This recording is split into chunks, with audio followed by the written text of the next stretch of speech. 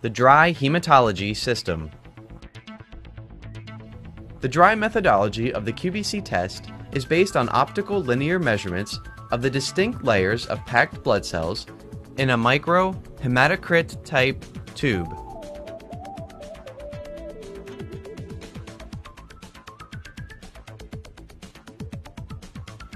The cell layering results from density gradients formed during high-speed centrifugation of the blood. Nine primary hematology values, including the platelet count, are derived. Tests are entirely automatic, requiring only that the operator prepare the sample tube and insert it into the auto-read reader. Centrifuge time is approximately 5 minutes, with an additional 1.5 minutes to read and analyze, depending on the software version.